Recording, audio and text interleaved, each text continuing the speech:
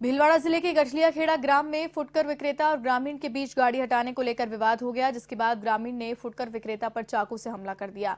इस हमले में व्यापारी घायल हो गया, जिसे महात्मा गांधी अस्पताल में भर्ती करवाया गया है, जहाँ गंभीर हालत के चलते उसे अजमेर रेफर कर दिया।